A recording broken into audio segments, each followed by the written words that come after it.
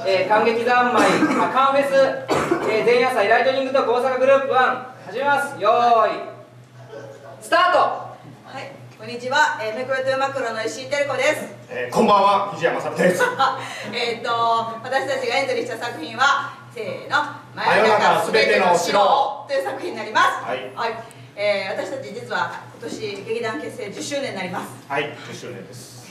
えー、まあそんな中で一番最後に作った長編のまあ言ってみたら、えー、最新作になってまして10年間の思いを詰めた作品になってます。見どころどうぞ。はい、えーと、我々いつもあの生バンドを入れて、えーと、演劇と音楽の融合みたいな形で作品を作っております、えーとまあ、ミュージカルみたいな形ではなくあのこちらが台本も書いて作曲もしてっていう形で、えーとまあ、ちょっと変わった形式のお芝居をやらせてもらってますね。そうですね。はい、はい、と演劇と音楽と生の力を信じて作ってるっていう、まあ、一応口コミなんですけど楽しんでいただける作品になってると思うので、えー、ぜひ何回も見てほしいなと思います。どうぞよろしくお願いします。はい次は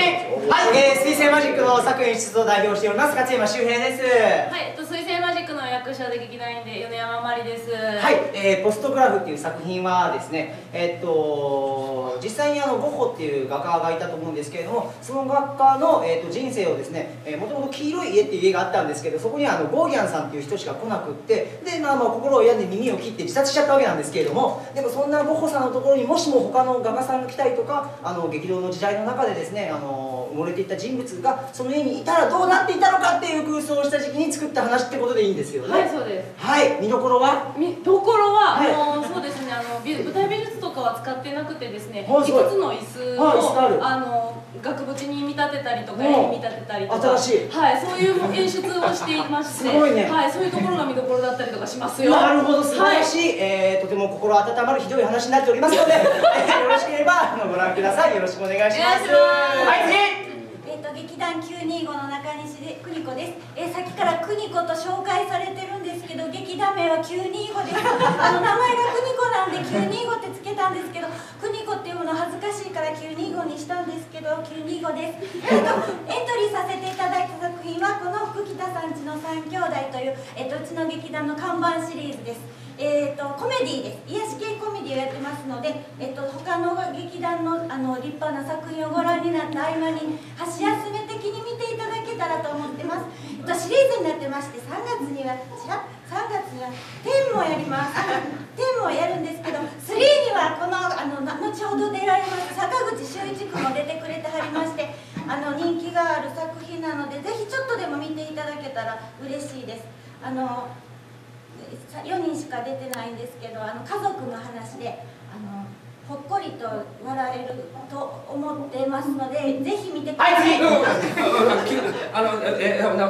あえっ、ー、と感激コックピットでございます。えっ、ー、とですね、えー、今回エントリーする作品はですね、変調夏祭りなにわ鏡と言いまして歌舞伎の夏祭りなにわ鏡を、えー、うちらの勝手に面白いようにアレンジしたやつなんです。でえっとどんなえ？えー、豪華絢爛ですね違うの？どうぞ。えっととにかくですね、えーと、歌舞伎を見たことないお客さんでも、えーと、そのまま、えー、ちょっと聞き面白そうだなと思って本当の歌舞伎を見に行ったりとかしたぐらいで、えー、あんまり舞台とか見慣れてない人にも「わあむちゃおもろいわ」って言ってくれたんであの箸休めの箸休めぐらいに見てください。お願いします。お願いします。余った？あおう。予想外。えっとどうぞ いいんですかそんな。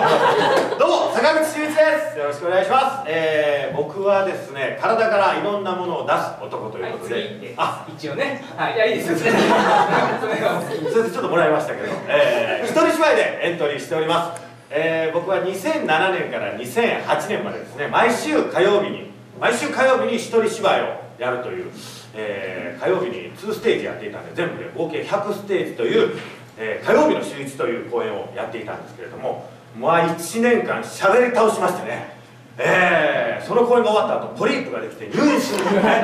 でそんな1年間毎週火曜日にやった中からですね月替わりの作品ということで12本、えー、主に関西で活躍している作演出家から、えー、お願いしてですね作品を作ったんですけどもその中でもえりすぐりの1本をということでえー、この後もね、えー、紹介されます「世界一段」という、えー、代表でもありまして、えー、今はサンデーという、えー、大作演でもありますウォーリー木下さん、ね、最近は配給で活躍ですけれどもを構成演出に迎えた作品をお届けします、はい、ありがとうございました。